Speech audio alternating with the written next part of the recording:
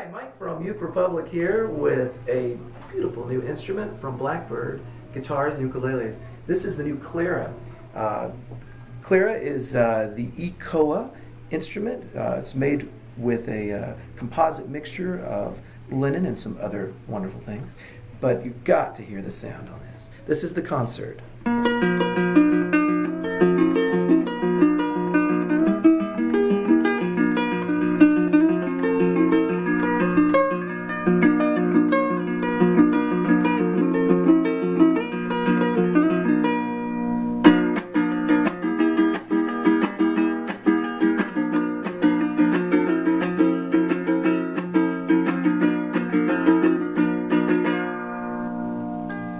And again, we've got a concert scale.